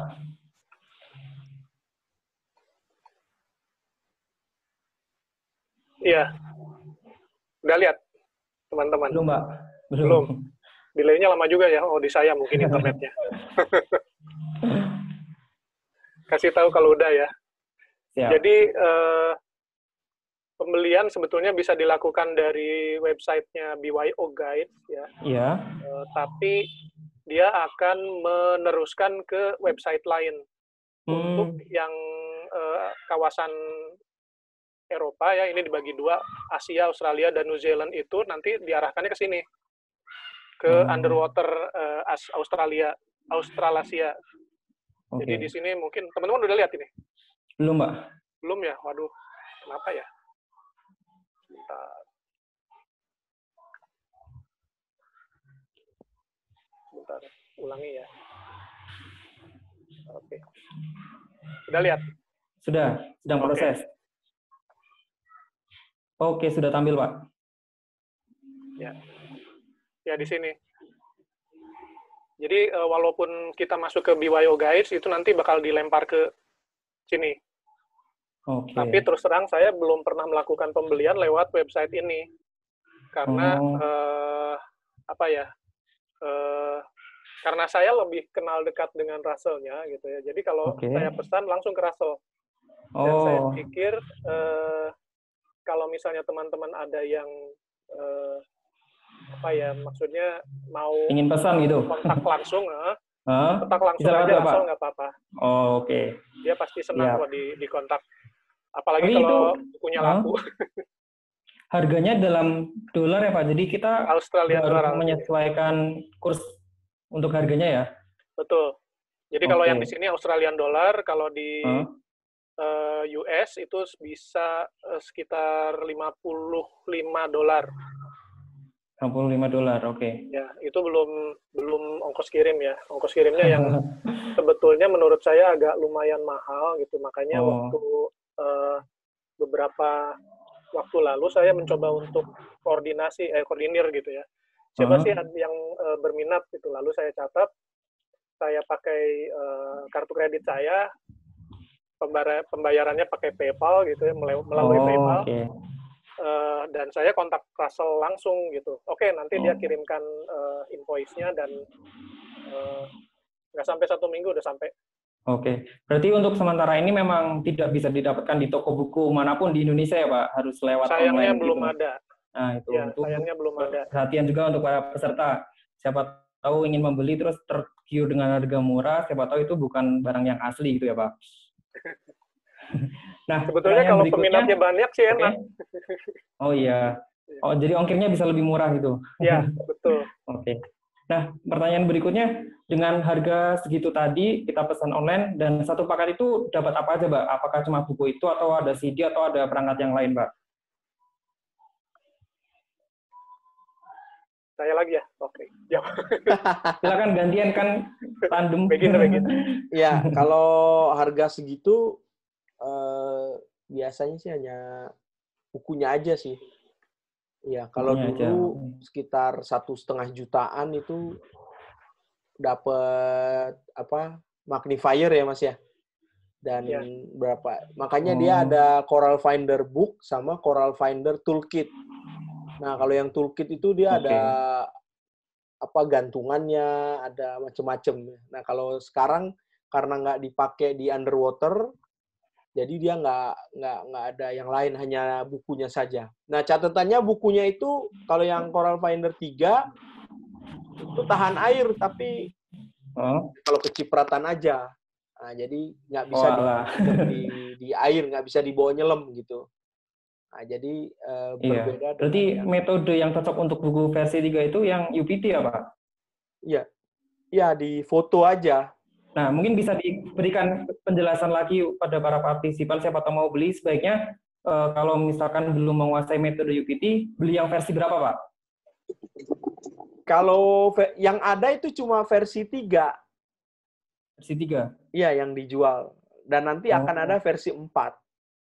Nah, okay. eh, yang paling penting itu tekniknya adalah eh, tadi memotret yang mak apa makronya, koralitnya ya. Makro, oke. Okay. Jarak dekat, uh -huh. kemudian uh, minimal dua lah ya, yang makro, kemudian yang kedua yang utuh koloninya gitu. Utuh koloninya, uh -huh. ya okay. kayak gitu. Jadi uh, seperti itu. Nah untuk pertanyaan berikutnya, versi oh ya, kedua itu dulu. udah nggak diproduksi. Nah, udah nggak diproduksi oh, okay. lagi. Jadi yang ada sekarang versi 3. Yang punya saya juga udah karena dipakai sama mahasiswa ya. Jadi mereka nggak tahu tuh barang barang langka, barang ini ya pakainya sembarangan juga. Iya. Jadi memang di Indonesia sendiri jumlahnya sangat terbatas dan mungkin nggak semua kampus punya buku itu ya Pak? Ya dulu kita belinya nekat juga ya Mas Riza ya. Saya pernah beli berapa ya? 10 atau berapa? Waktu itu harganya masih satu setengah juta. Banyak sekali. Ya karena kita aja. apa dibutuhkan pelatihan. untuk pelatihan. Oh iya benar. Jadi kayak gitu sih. Baik, eh, pertanyaan berikutnya dari Muhammad Firdiansyah. Untuk identifikasi oktokoral, apakah belum ada yang seperti Coral Finder? Begin monggo. Ya. Oktokoral. eh, Oktokoral sendiri eh, secara taksonomi ya masih banyak ributnya. Jadi eh, apa banyak sekali yang belum teridentifikasi. Jadi eh, apa belum ada tuh orang yang eh, mencoba membuku karena buku yang jadi patokannya kayak eh, apa buku Veronnya itu ya Hmm? itu belum belum Ya. banyak gitu dan belum disepakati lah gitu Oh bahwa iya. ini nih buku buku Oke. sucinya gitu. Nah kalau di apa Hmm. kalau di koral uh, kalau karang itu kan uh, kitab sucinya ada tuh buku Veron gitu. Nah itu uh, bisa apa itu uh, mempermudah orang ingin membuat buku. Artinya kalau ada yang mau bikin buku Oh. itu itu peluangnya sangat sangat besar gitu. Jadi uh, bisa dibuat kayak gitu. Oh iya. Kemudian ini ada request dari Pak Iskandar. Kira-kira bisa nggak dibuat pelatihan identifikasi karang secara virtual online di masa pandemi seperti ini, Pak? Sedang kita usahakan ya begin ya tadi Ya, sudah ya. disebutkan. Oh iya. Eh, mungkin mungkin eh, kita coba memulai dengan eh, apa namanya pelatihannya perbagian ya. Kalau teman-teman lihat di sini kalau buku Coral Finder-nya itu kan ada ada beberapa eh, kunci ya. Mungkin satu sesi kita bahas tentang branching, satu sesi misalnya tentang eh, karang meander dan seterusnya gitu sampai ya sampai sini bisa lah. Nanti kita Oke. coba usahakan. Kalau misalnya teman-teman sudah punya Coral Finder akan lebih bagus, tapi kalaupun tidak em, Bisa aja. Oke, masih bisa kasih. belajar, masih Bisa bisa. diinisiasi lah dari Selam Jogja nih. Siap, Pak. Boleh, Siap, Pak. boleh. Nanti Bisa- saya Bisa lanjutkan cari pesannya ke ya, Mbak Ika. Cari provokator, Mas. Baik, eh, untuk para peserta mohon maaf kami tidak bisa menanyakan semuanya, tapi yang akan kami pilih adalah pertanyaan yang masih relevan dengan Coral Finder atau identifikasi karang. Gitu ya, tolong pertanyaannya jangan terlalu melebar jauh. Kemudian pertanyaan dari Risman JR. Izin bertanya, apakah bisa mengetahui tingkat keakuratan identifikasi yang dilakukan oleh orang lain, Pak? Tingkat keakuratan. Iya. Eh, menurut saya sih pengalaman sejauh ini eh, pada saat teman-teman yang dilatih ya, yang kita training menggunakan Coral Finder, eh, itu punya kemampuan yang eh, merata gitu. Maksudnya Hmm. yang diidentifikasi oleh orang A itu biasanya nggak akan jauh berbeda dengan orang B, C dan dan seterusnya. Eh, perbedaan itu biasanya ya mungkin karena salah identifikasi gitu. Ada yang miss dari dari eh, cara mengidentifikasinya gitu. Ada tahapan-tahapan yang dilewat atau mungkin eh, salah mengidentifikasi gitu. Maksudnya ada ada step yang terlewat gitu. Oke. Kemudian eh, untuk menggunakan Coral Finder sendiri itu kita orang awam aja boleh pakai atau kita harus mengikuti pelatihan dulu kemudian mendapat sertifikat kemudian menggunakan Coral Finder atau setelah itu ada tingkat atau jenjangnya Pak. Ini sesuai dengan pertanyaan dari Pak Iskandar. Atau semuanya sama? Um, pen- penjenjangan sih sebetulnya nggak ada. Jadi eh, Coral Finder ini hanya satu eh, hanya satu macam, satu satu level gitu ya. Oke. Okay. Jadi uh, dari mulai teman-teman yang tidak tahu sama sekali pun sebetulnya bisa belajar ini. Lalu pertanyaannya okay. apakah uh, tanpa pelatihan bisa? Bisa kalau dipelajari. Tapi pelatihan uh, dengan pelatihan selama dua hari itu bisa mempercepat. Saya yakin itu bisa mempercepat uh, pemahamannya. Dan ada beberapa, mungkin bukan beberapa sih, ada banyak tips dan trik yang sering kali uh, muncul pada saat kita melakukan pelatihan kalau dibandingkan kalau oh, belajar oh, iya. sendiri itu. Tapi itu tetap bisa digunakan oleh para peneliti untuk belajar sendiri nggak tanpa nggak harus menunggu ada pelatihan gitu. Maksudnya bisa. mudah untuk dipelajari secara otodidak. Bisa. Oke, Pak. Bisa. Ya, emang mungkin tuju kecepatannya yang tujuan di ya. apa adanya buku ini adalah memang supaya bisa belajar secara otodidak sih sebenarnya kayak gitu memang dibuat okay. untuk yang yang awam kayak gitu. Oke. Kemudian ini di kolom chat juga ada yang membagikan PDF-nya, Pak, ternyata. Nah, ini kalau misalkan kita melanggar hak cipta atau bagaimana, kami tidak bertanggung jawab penyelenggara ya, teman-teman. Jadi silakan digunakan dengan tanggung jawab sendiri, atas tanggung jawab sendiri begitu. Kemudian, eh, apakah penggunaan Coral Finder ini sebenarnya sudah cukup untuk mengidentifikasi apakah kita harus melakukan identifikasi lanjutan, misalnya menuju ke website Corals of the World atau menggunakan buku Veron, Pak? Begini deh.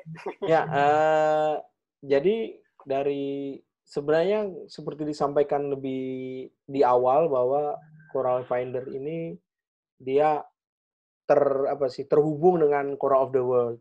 Nah, untuk level okay. genus itu uh, itu sudah sudah cukup. Tapi sudah dalam cukup. sudah cukup, tetapi untuk mengetahui variasi dari genus-genus nah. itu sebaiknya kita juga untuk memperkaya kita kita melihat uh, apa yang ada di Coral of the World karena gambar yang ada di Coral Finder itu okay. terbatas juga. Jadi mm-hmm. jadi dia mencoba memanfaatkan variasi-variasi yang paling penting.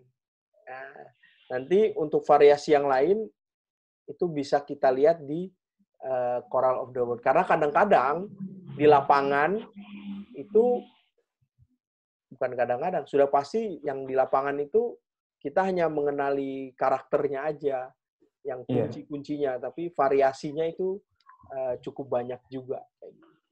Oke, terima kasih Pak. Ini ada pertanyaan berikutnya dari Lumban Nauli. Apakah Coral Finder bisa digunakan oleh orang yang selam atau renang hanya menggunakan snorkeling, jadi tidak menggunakan scuba? Apakah kita sudah cukup bisa mengidentifikasi, apalagi dengan tadi kalau foto aja harus pakai makro, apakah cukup kalau kita snorkeling, Pak? Aluman ini teman kita juga ini. Pernah dapat pelatihan. Jangan pura-pura nanya. Oke, okay. tapi buat teman-teman juga ya, ini uh, sekalian aja teman-teman yang belum tahu ya. Um, jadi ya Coral Finder ini kalau yang versi 3 tidak bisa di, digunakan untuk snorkeling ya. Ya sayang sekali. Jadi uh, saat ini kebanyakan diver atau orang yang snorkeling uh, punya lah gadget atau uh, kamera bawah air yang bisa dibawa jemplung gitu ya, terutama yang benar-benar menyukai gitu ya. Uh, biasanya bisa digunakan uh, kameranya, lalu pada saat di atas baru diidentifikasi menggunakan Coral Finder. Jadi dalam kondisi tangan basah sih masih aman gitu ya, yang versi uh, yang versi tiga ini. Tiga. Oh. Ya. Baik, Pak Begin mau menambahkan? Uh, cukup sih, sudah jel ini. Oke. Okay. Nah, pertanyaan berikutnya. Um, kadang kalau kita mengidentifikasi itu uh, satu spesies bisa memiliki lebih dari satu bentuk. Nah, itu bagaimana kira-kira tipsnya Pak untuk mengatasi seperti itu? Karena di halaman depan Coral Finder saja, itu bagian awal yang kita sortir adalah bentuknya dulu. Sedangkan ada beberapa spesies yang lebih dari satu bentuk, gitu Pak. Mungkin punya tipsnya yang lebih berpengalaman. ya mungkin uh, dari dari kebiasaan juga kita ya mungkin teman-teman ada yang sudah uh, pernah me, melakukan LIT dengan Liveform ya Liveform Coral. Jadi untuk yang sudah pakai LIT Liveform okay. coba dibongkar dulu karena hmm. di sini uh, Liveform yang ada di Coral Finder ini uh, tidak sama dengan Liveform yang iya. mirip yeah. sih, tapi uh, misalnya untuk istilahnya beda ya pak? Ya istilahnya untuk yang bercabang ada. itu kalau di uh, apa namanya di live form itu banyak selain branching gitu. Ada yang uh, corimbus ada yang uh, submasif lah ada yang uh, digitate gitu ya. Tapi itu disatukan yeah. semua. Tabulet pun tabulet pun itu sebetulnya bentuk dari percabangan gitu ya. Hanya kecil-kecil yeah. dan rapat gitu. Jadi itu masuk ke dalam kategori ini jadi uh, sebetulnya di sini hanya merangkum variasi berdasarkan bentuk yang sangat general gitu. Tadi sudah dijelaskan juga sama Bedian bahwa lupakan tentang masif. Kalau masifnya hmm. ada meander ya, seperti ini, itu gunakan kunci yang meander. Tapi kalau misalnya masif, tapi uh, koralitnya membulat, itu masuk yang masif dan koloni yang tebal, anti kolonis. Kira-kira seperti itu sih. Jadi variasi itulah yang yang uh, pada saat kita masuk ke dalam, walaupun kita uh, masuknya lewat uh, masif, tapi kalau misalnya ada, nah ini seperti ini masif, masif T koloni, itu hanya yang koralitnya satu-satu gitu ya, yang membulat. Tetapi kalau misalnya yang meander seperti ini, ini juga banyak yang masif gitu. Jadi variasi itulah yang yang uh, membedakan. Oke. Ada tambahan Pak beginner? Iya, jadi uh, kenapa uh, dari awal kita uh, menyampaikan bahwa lebih mudah mengajari yang awam, yang tidak hmm. tahu sama sekali informasi tentang karang dibandingkan yang sudah pernah pelatihan karena yang awam ini dia ya dia mengi bisa mengikuti sistem yang di Coral Finder seperti itu. Nah, sedangkan okay. uh, jadi ketika pelatihan pun kita selalu me, apa ya menginformasikan ke peserta bahwa tolong informasi yang yang lain ya itu di dianggap uh, tidak ada dulu tapi ikutin dulu tidak ada dulu flow ikuti workflow. Oke. Okay.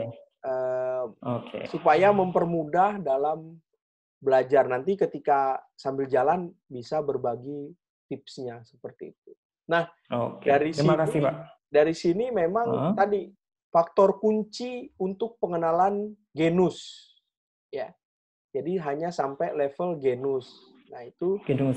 Uh, uh, jadi di dirangkum menjadi tidak terlalu banyak gitu ininya apa uh, yang harus di, dipelajari gitu. Jadi uh, tidak menyulitkan lah buat teman-teman. Baik. Ini ada peserta yang mengacungkan tangan. Silakan boleh mengaktifkan mikrofon kalau ingin bertanya langsung pada narasumber.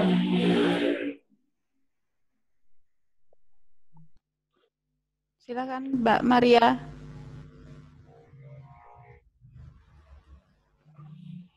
Kalau nggak ada, mungkin ada yang lain? Ya, silakan para peserta. Ini di kolom komentar sepertinya sudah tidak ada pertanyaan lagi atau mungkin kesulitan ada untuk Oh ya, silakan. ya mungkin terlewat tadi ya. Um, ada yang bertanya oh, ya, uh, tentang versi 2 ya versi 2 okay. tadi sudah disebutkan sudah tidak sudah diproduksi hmm. lagi. Tapi uh, memang uh, Russell juga menyadari bahwa yang versi 2 ini uh, daya tahannya tidak bahannya memang kuat gitu ya. Tahan gitu.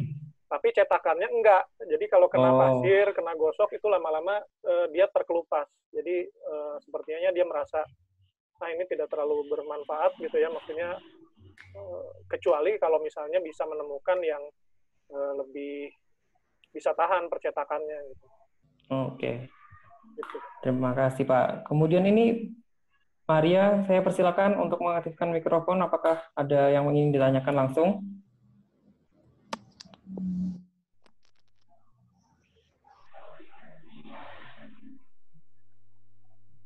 Kalau enggak, mungkin saya sedikit ini Mas, uh, Mas Riza atau uh, Mas Begin ya.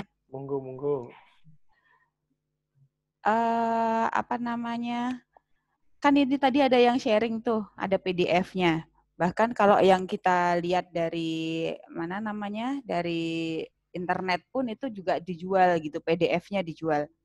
Nah, apakah uh, bisa gitu istilahnya pelatihan juga kita berbekal dari PDF-nya ini kita bisa ngadain pelatihan gitu loh. Gitu Mas Riza? Ya, um, saya kira saya, saya saya belum dapat informasinya sih dari Russell apakah uh, dia sudah mulai menjual uh, versi e-booknya gitu ya atau versi ya. Kindle gitu. Um, jadi ya saya nggak bisa jawab sih. Oke. Okay. kalau ada, kalau ada, memang kalau memang sebenarnya sudah ada, uh uh, ya alhamdulillah gitu kita bisa lakukan itu, gitu bisa, bisa pelatihan. Soalnya Maksudnya ada sarana yang dimudahkan. Gitu. Nah itu saat saat ada yang mencari gitu ya. Uh, Oke okay, ini ada apa uh, dari room chat tuh berkaitan dengan hak cipta. Benar berkaitan dengan hak cipta, tapi di di apa namanya mungkin yang ada kedekatan dengan uh, Russell sendiri ya.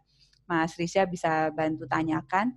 Ada tuh di luar sana itu PDF-nya gitu. Apakah itu uh, untuk belajar itu nggak apa-apa atau memang bagaimana? Kalau nggak salah ada dijual juga soalnya Mas. Oh. Jadi uh, apa? Dulu sempat gitu. Ini tapi cuma PDF Mbak gitu kan terus oh, saya malah nggak lihat bahwa itu PDF gitu kan jadi saat saat waktu itu pengen mencari-cari gitu uh, pengen pengen beli gitu kan karena kebetulan saya punya saya pengen uh, waktu itu memang ngajak Mas Bikin ke sini itu untuk uh, membuat pelatihan gitu untuk teman-teman yang ada di Jogja. Nah itu tapi terkendala ini nggak Mbak? Uh, ada yang punya Coral Finder nggak? Ad, saya ada, tapi kan hanya ya saya nggak nggak mendata apakah di Jogja ada berapa banyak yang punya gitu kan. Nah kalau misalnya untuk mengadakan lagi seperti tadi di apa, disampaikan bahwa harganya memang lumayan mahal gitu kan. Jadi ya uh, apa kalau ini tadi ada yang PDF pas saya nyari-nyari loh kok ada PDF-nya saya sendiri nggak download gitu saat itu karena sudah punya kan still yakin gitu bisa belajar sendiri tapi ternyata kayak Mas Andreas uh, mungkin masih ada di sini Mas Andreas ya. Pernah kasak kusuk dengan saya, kok sinau dewe nggak bisa gitu ternyata. Jadi harus menghadirkan uh, pakarnya gitu untuk untuk belajar Mas. Nah itu terkait dengan yang tadi orang awam bisa nggak make gitu. Ya, bisa tapi lama. yang ikut pelatihan aja lama ya? Uh, dengan intensif mungkin empat hari sih sebetulnya bisa cepat empat hari ya. Berarti kalau misalnya mau diadakan course, mau diadakan pelatihan, itu apakah juga empat hari itu atau bagaimana, Mas? Ya, seperti usul saya tadi, mungkin hmm. sebaiknya per, ses, per section aja ya, per uh, per grup gitu ya, hmm. per kunci. Jadi uh, mungkin dua jam itu belajar coral branching branching dulu, dicicil mungkin nggak terlalu berasap gitu otaknya nanti. ya di di apa dibikin sesi kan empat hari itu kan yang ke lapangan juga mbak. Jadi sekalian ke laut gitu. Ya. Yeah. Uh, jadi kalau hanya hmm. materinya sih biasanya kita dua hari ya mas ya. Itu dua-dua ya, dua dua yeah. materi dua materi gitu. Itu bisa dilakukan sih. Sejauh pengalaman kita uh, dua hari itu sih panas sih otaknya sebetulnya. Maksudnya banyak yang uh, di awal-awal sudah mengerti, uh, kemudian lupa gitu, cepat lupanya karena mungkin terlalu mengingatnya terlalu banyak gitu ya, mencoba untuk mempelajari. Jadi kak, kayak tips dan trik kan sering kali muncul uh, di di tengah-tengah gitu ya pada saat uh, training. Tapi begitu pindah ke materi yang lain, kemudian dibalik lagi, nah itu masih ada yang sering lupa gitu. Hmm. Kalau biasanya dengan empat hari itu kita langsung diskusi di lapangan juga gitu, oh. secara langsung menemukan koloninya, hmm. uh, melihat secara langsung fisiknya, dan identifikasi. Kemudian kalau misalnya ada kamera, di foto, kita diskusikan sama-sama gitu. Baik, Oke, terima kasih. Alfian. Iya, ini sudah jam 5, apakah boleh dilanjutkan? Dilanjutkan dulu, buruan, yuk. Okay. Ada, Ada pertanyaan berikutnya dari Pak Riko Manogar. Apakah penamaan jenis sekarang masih mengacu ke buku Peron tahun 2000? Terima kasih. Harusnya kita nanya Mas Riko nih. Nanyanya sama Mas Riko ya? Iya. Mas Riko jawab sendiri dah. Sekarang Mas, Mas Riko, Riko pakai yang mana Mas gitu? Mas Riko, buka. iya kan? Mas Riko, Mas Riko, silakan Mas, Mas Riko. Silakan Pak. Moderator mengizinkan untuk memberi jawaban sendiri. Mas Riko mana ini? Ini.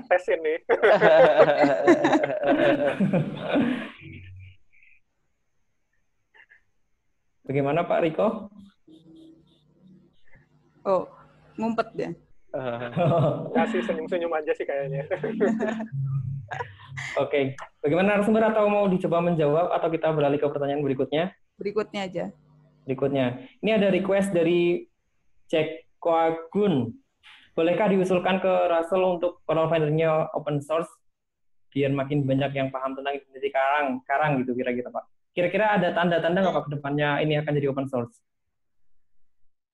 Uh, harus saya tanyakan dulu ya ke Russell karena sejauh ini sih belum ada tanda-tanda ya. Tapi yang okay. yang apa ya, yang bisik-bisik maksudnya dengan Russell ngobrol tidak resmi gitu. Hmm. Uh, yang versi 4 ini nanti mungkin versinya itu versi uh, Kindle gitu. PDF oh. yang harus dibeli secara online. Ya. Oke. Okay. Jadi ini huh? kalau it, yang versi 4 sudah uh, sudah ada, uh, sudah available, mungkin versi 3 juga akan hilang dan mungkin sisa-sisanya aja. Siapa tahu di diskon gitu. Lalu kemudian kalau open source, um, saya nggak berani bilang ya. kalau okay. kalau autornya nggak mengizinkan, tentunya kita uh, jangan. Oke. Okay. Nah, mungkin nggak Pak, ini sesuai dengan request dari Pak Iskandar, pertanyaan Pak Iskandar, mungkin nggak untuk pelatihan versi Indonesia, Mas Riza bisa membuatnya dengan mengacu pada ilmu yang didapat. Jadi mungkin maksudnya macam membuat apa ya persamaan para finder tapi dalam bahasa Indonesia gitu. Ya, um, butuh waktu juga ya sih sebetulnya kalau butuh waktu dan sumber daya sih kalau kita mau terjemahkan ini ke dalam bahasa Indonesia. Okay. Tetapi kalau saran saya, eh, saya pikir bahasa Inggris jadi bahasa universal ya. Jadi pada saat kita menggunakan menggunakan Coral Finder, eh, istilah-istilah yang ada di sini mungkin tidak tidak perlu kita terjemahkan gitu, hmm. karena eh, sering kali kita kesulitan untuk mencari padanan kata dalam bahasa Indonesia gitu. Seperti contohnya ini ada satu yang bakal sering ketemu kalau teman-teman buka videonya, itu istilah rich. Bahasa Indonesianya apa? Itu kan bisa bisa bisa unggungan, bisa berarti hmm. gunungan atau semacam bukit barisan gitu ya. Okay. Itu hubungan ini apa atap rumah bagian yang memanjang itu kan hubungan juga. Itu ridge juga gitu. Jadi segala bentuk yang uh, menonjol tinggi dan memanjang itu bisa disebut ridge gitu. Jadi hmm. uh, sering kali bahasa Indonesianya apa ya? Begitu Justru membingungkan ya Pak. Aneh. Bagi gitu. orang awam ya. ya. Oke. Okay. Ada tambahan dari Pak Beginner? Iya, um, ini pancingan sebenarnya pertanyaannya. Artinya eh, kita request itu pak harus membuat membuat eh, apa buku yang simple dari kita ya orang Indonesia yang ya untuk menjadi bahan identifikasi karang. Sebenarnya banyak eh, senior senior kita itu yang yang luar biasa pemaham apa eh, identifikasi karangnya termasuk di sini ada Mas apa Mas Riko gitu ya.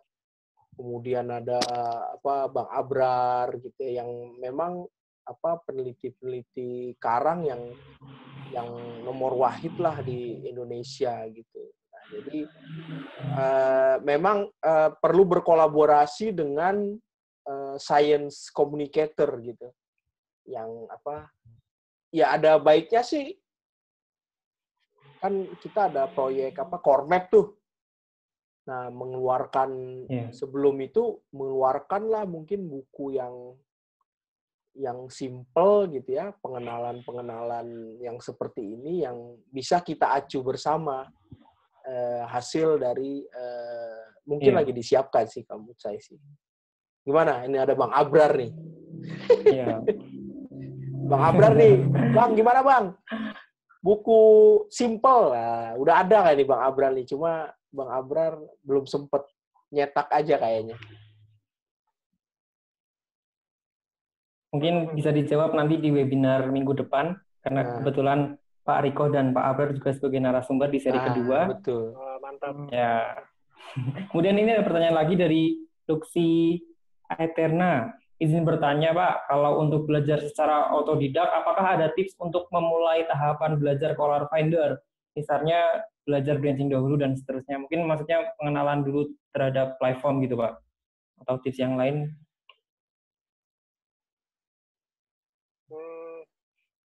saya jawab. Uh, mungkin kalau enak tadi saya uh, sudah ceritakan kalau mau lebih mendalam memang bagian per bagian ya, mungkin hanya satu atau dua topik dulu yang dibahas sampai benar-benar uh, memahami atau ngelotok gitu ya. Uh, dan setelahnya mungkin kita bisa lanjut ke bentuk atau kunci yang lain gitu. Okay. Dari saya sih gitu. Mungkin bagian ada. Ya sebenarnya kalau yang di Coral Finder kan memang sudah ada itunya mas, apa urutan-urutan pembelajarannya tuh. Yeah. Video satu apa, video dua apa, video tiga apa itu hmm. dari pengalaman kami selama ini sih itu sangat membantu gitu. Uh, jadi uh, ya membantu untuk um, mempelajari sistem dari Coral Finder ini. Nah, jadi itu sih yang yang paling penting. Jadi bersabar untuk nonton videonya, kemudian baru mengikuti apa dia punya cara kerja, dia punya cara kerja eh, sendiri nih Coral Coral Finder yang untuk membantu kita yeah. mempercepat menggunakannya. Jadi kalau kita memang asal bulak-balik, bulak-balik. Oke, okay, ya, terima kasih jawabannya. Yang Oh. Jadi memang ada strukturnya gitu ya Pak untuk membaca ya, dan mempelajari Coral Finder. Nah berikutnya dari Julham MS Pelupesi. Kalau untuk mengetahui berapa banyak jenis karang di suatu daerah dengan menggunakan Coral Finder, kira-kira butuh waktu berapa lama dari sisi waktu menyelamnya berdasarkan pengalaman yang pernah ada? Mungkin bisa dikasih gambaran dulu Pak yang pakai LID panjang 150 meter itu kalau kita menyelam dengan Coral Finder membawa yang versi 2 itu berapa lama, Pak? Kalau di awal pasti lama. Relatif ya, tergantung kemampuan. iya, di awal pasti Kalau lama. di awal pasti lama karena kita kan masih sedikit yang kita hafal. Nah, kalau lama-lama nggak dipakai Coral yeah. Finder-nya karena udah udah tahu karakternya, udah tahu ini dan akan lebih hmm. lebih cepat gitu. Kita pun kalau uh, sebelum menyelam ya, udah lama nggak ngambil data, kita harus refresh lagi ya. Jadi refresh apa yang dilihat, apa ya identifikasi identifikasinya seperti apa gitu. Nah, jadi untuk estimasi waktu kalau saya, okay. kalau cuma eh, LIT atau PIT satu transek ya yang 100 meter, yang 50 meter ya cuma setengah jam kali ya. Kalau satu ya. Setengah jam, wah, cepat sekali, Pak. Iya, kayak gitu. Kan cuma ini, dia dominan branching semua, jadi cepat. Termasuk gulung itu. oh. Ya, jadi intinya Oke. sih semakin Nah, sering kita Pak, ini pakai, saya pertanyaan pribadi. ini. Ya, pertanyaan pribadi siap. Oke. Oke. Eh, sebenarnya kalau kita mengidentifikasi karang dan kita mendapatkan hasil genus atau spesies yang lebih banyak dari orang lain, apakah itu bisa dikatakan identifikasi kita lebih akurat daripada orang lain yang mungkin hasil identifikasi jumlah identifikasi spesiesnya tidak lebih banyak, Pak? Karena mungkin kadang yang sedikit itu cuma ya udahlah samakan aja kayak ini, samakan aja kayak ini gitu, Pak. ya gimana ya ya mungkin eh, nggak nggak menjamin juga sih eh, hasilnya catatannya banyak itu benar karena tergantung sama eh, orangnya juga Oke. kita kan nggak tahu ya kalau cara mengidentifikasinya sudah benar ya berarti kemampuannya udah lebih lebih baik Kalau lebih banyak Oke. ya belum tentulah gitu ya karena eh, banyak faktor yang yang menyebabkan eh, ini tapi yang paling penting sih kalau menurut saya kalau memang bisa mengkonfirmasi karakter kuncinya itu ya akurat berarti Hmm. gitu Jadi yang paling penting itu nah di sini kalau Coral Finder Oke. itu sebenarnya kita diajari mengenali karakter kunci dari genus itu. Nah, jadi ada kunci-kuncinya kunci nih. Iya, oke. karakter kunci dari genus-genus itu. Genus ini karakter kuncinya ini gitu. Nah, kalau kita bisa misalnya banyak dan bisa menjelaskan dan ada evidence-nya ya itu akan ya bisa jadi lebih akurat kayak gitu. Oke. Sepertinya pertanyaan dari peserta sudah terjawab semua. Mudah-mudahan jawaban dari narasumber dapat membantu pemahaman dan justru akan meningkatkan antusiasme untuk belajar identifikasi karang. Karena ternyata Coral Finder pun bisa dilakukan bisa dilakukan untuk belajar autodidak tanpa harus menunggu pelatihan terlebih dalam kondisi seperti ini akan sangat disayangkan kalau kita hanya menunggu apalagi belum ada kepastian dari penyelenggara barangkali. Itu sepertinya eh, sudah melewati waktu yang telah kami tentukan. Sekali lagi saya ucapkan terima kasih pada para narasumber yang sudah secara jelas menjelaskan memaparkan tentang Coral Finder yang mungkin bagi sebagian orang ini adalah hal yang baru untuk mengidentifikasi karang karena shortcut itu tadi. Jadi sangat menyingkat waktu diidentifikasi. Kemudian saya ingatkan lagi pada para peserta untuk mengisi daftar hadir karena formnya akan kami tutup pada pukul 18.00 WIB.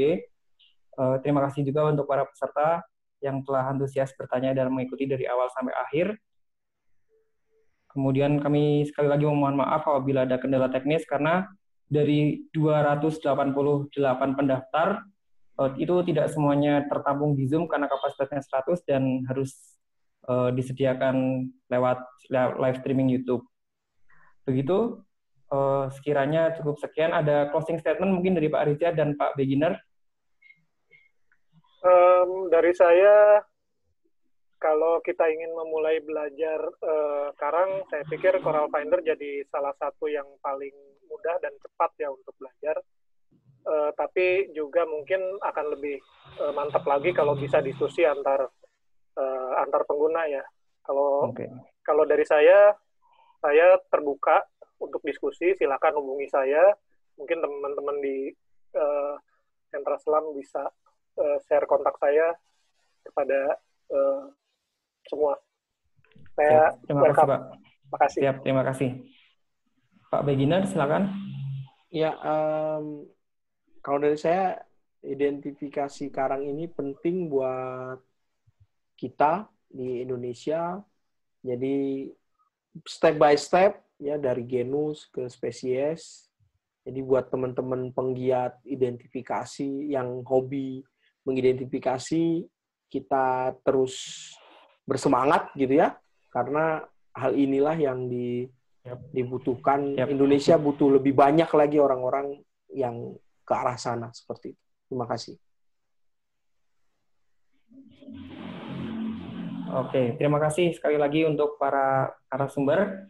Eh, Berikutnya saya ingatkan pada para peserta untuk minggu depan dan minggu depannya lagi, Sentra Selam Jogja juga akan menyelenggarakan webinar dengan seri kedua dan ketiga. Topiknya apa saja tinggal ditunggu saja nanti poster dan pendaftarannya. Uh, tak lupa nanti ada sertifikatnya juga. Uh, saya rasa cukup sekian. Uh, semoga bermanfaat dan mohon maaf apabila ada kesalahan dan kekurangan. Saya kembalikan ke tuan rumah Bu Ika Ristiani. Oke, uh, terima kasih untuk partisipan yang hadir yang uh, alhamdulillah sampai di akhir acara yang masih setia menemani di sini. Uh, untuk yang minggu depan kita menghadirkan Mas Riko dan Pak Abrar untuk melihat uh, kompetensi peneliti bawah air atau peneliti terumbu karang. Dan minggu berikutnya lagi akan ada untuk scientific diving arkeologi yang berikutnya lagi insya Allah untuk pemetaan bawah air, jadi itu akan uh, kita berseri sampai empat empat session ya nantinya. Terima kasih um, para narasumber dan Mas Begin, Mas Fisya. Hadirannya, makasih juga Fian. Makasih Mbak Ika. Makasih ya. Mbak ada foto bersama nggak? Sama-sama Pak. Oke, okay. buka, buka, anu ya, buka kamera. Iya, penting itu, Mbak. Oh gitu ya. Monggo dipersilahkan. Makasih Mas Budi sudah mampir, Pak Riko, Mas Iskandar, dan seluruh partisipan yang hadir, baik di YouTube maupun di Zoom meeting. Yuk. Udah? Dikasih aba-aba, Pian? Oke, sebentar. Sudah aktif semua kameranya. Tolong pencahayaannya juga biar lebih maksimal. Ini banyak yang kenal ini. dibuka banyak yang kenal ya? Iya. Oke, wah banyak sekali nih. Oke, kita ada tiga kali pemotretan. Uh, karena ada tiga slide rupanya, ditambung di tiga slide. Yang pertama dulu ya. Tapi tetap untuk semua peserta di tiga-tiganya itu tetap bergaya. Siapa tahu kebagian di slide yang pertama, kedua, atau yang ketiga. Oke, saya mulai sebentar. Satu, dua, tiga. Baik, simpan dulu.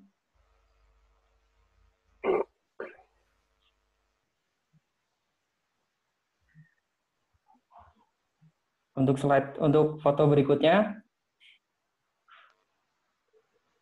Satu, dua, oh, ada tiga. Empat ternyata.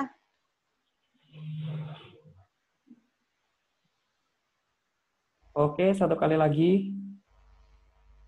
Satu, dua, tiga. Baik, Mbak sudah selesai. Saya akan saya kembalikan. Terima kasih Mas Ebram, sudah mampir. Kapan kita bikin bareng? Mas Ebram juga ada. Mas Ebram.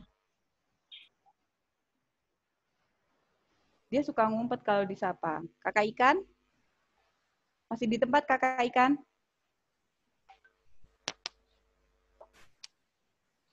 Ya, terima kasih atas kehadirannya semuanya. Assalamualaikum warahmatullahi wabarakatuh. Sampai jumpa minggu depan. Terima kasih. Terima kasih.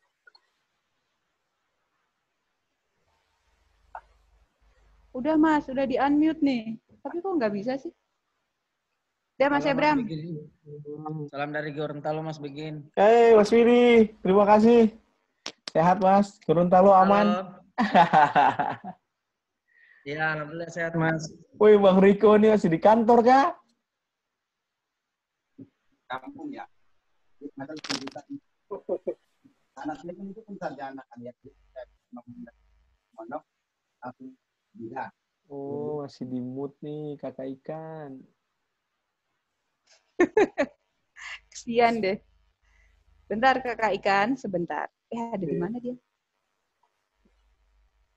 Unmute all. Bisa. Nah, udah. Udah ya? Harusnya sih udah terbuka nih. Tapi harus nah, receive dulu sudah kebuka nih, sudah bisa. Nah, ah, mantap. Muncul dia. Halo Mbak Ika, Mbak Ika. Ya. bikin WhatsApp group. Apa? WhatsApp group. Bikin WhatsApp grup. Iya, kan ada sesi selanjutnya untuk mengingatkan. Oh gitu. Oke, masukannya Buat diterima nanti coba dibuatkan WhatsApp grup untuk yang eh, yang hadir dan tidak hadir ya. Materinya bagus. Ya. Terus? Jadi eh, bisa ditambah lagi. Kan kemarin sudah sudah ikut ya Mbak ya kemarin waktu di yang sore kemarin. Udah. Aku mendengarkan saja. Loh, kan nggak semuanya ikut, Kak. Ya, Mas siap, Haji, siap, siap. Iya Ya, kan ya. nggak semuanya ikut. Makanya eh, dari karena sebenarnya sih berangkatnya juga dari yang kemarin, Mas. Iya, iya, betul, betul. Jadi seri untuk sebulan ini kita coba untuk scientific diving bahwa scientific diving itu apa sih gitu loh. Mm, betul. Ini ya, cuman Sekarang apa? ya kan kemarin eh, ngebahas tentang scientific diving gitu kan. Jadi terus ya pertanyaan-pertanyaan kan juga banyak tuh kemarin. Heeh. Terus ya gimana gitu loh mau mau dilanjutkan bagaimana karena ada konteks yang sekarang eh, materi yang sekarang ini kan terkait sama yang kemarin gitu loh. Iya betul. Jadi ini kalau nggak jalan kan kayaknya pincang sebelah ini. Nah kalau untuk Nah. terkait materi, Mas, itu Ah. minggu depan kan kita akan hadirkan eh, Mas Ruko sama Pak Abrar nih.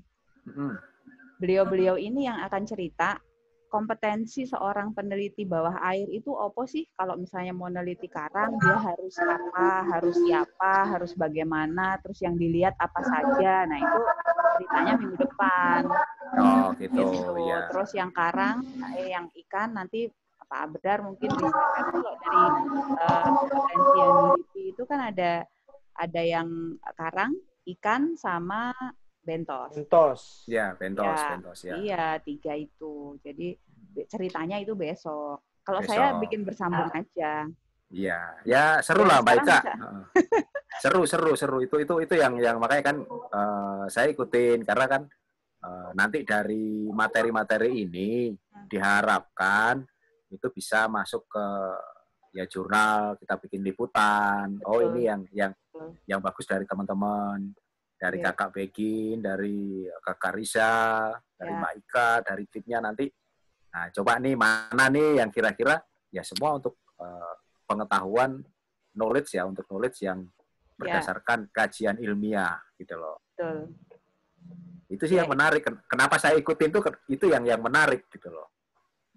Jadi jadi ya ya kita sudah mulai belajar menyampaikan semua menggunakan by data Iya. Gitu loh. Terus ada ilmiahnya. Nah, ilmiahnya baik ya sekarang secara akademisi oke. Ya secara akademisi mungkin dari dari Mas Begin, dari Kakak Begin, Kakak Risya, dari eh, Mbak Ika.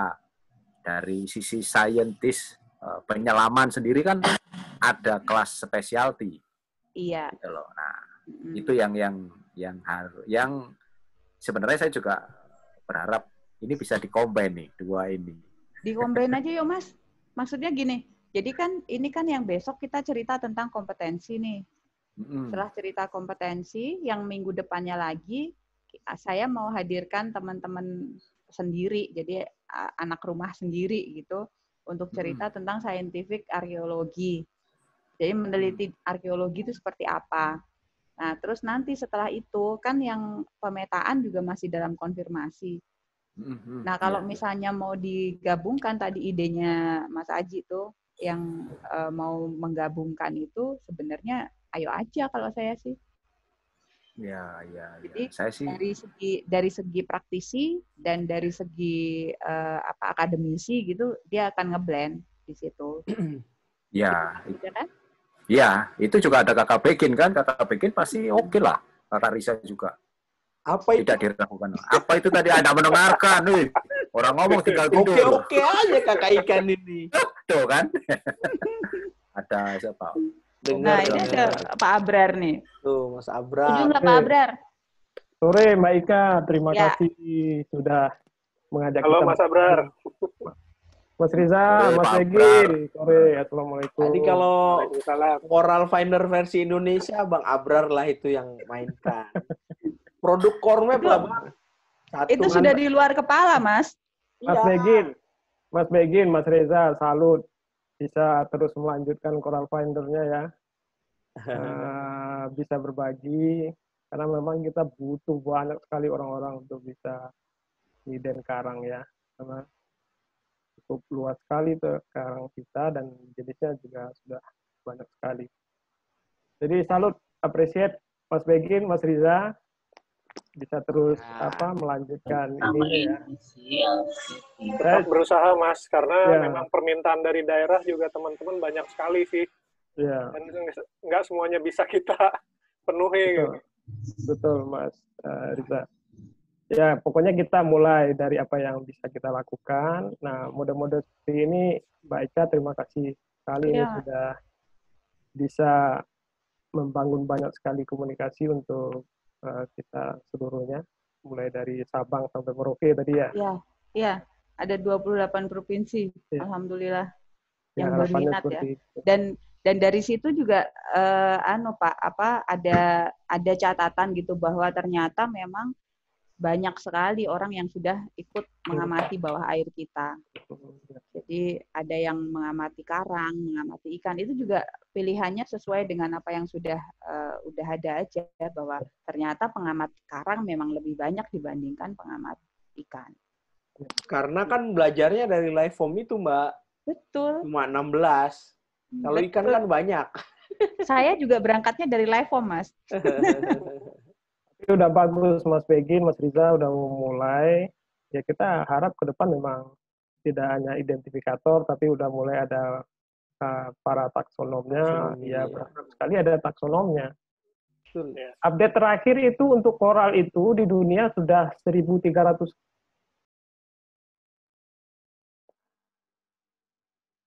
yang dulu kita IUCN Red List itu di tahun 2000 2007 kalau nggak salah itu baru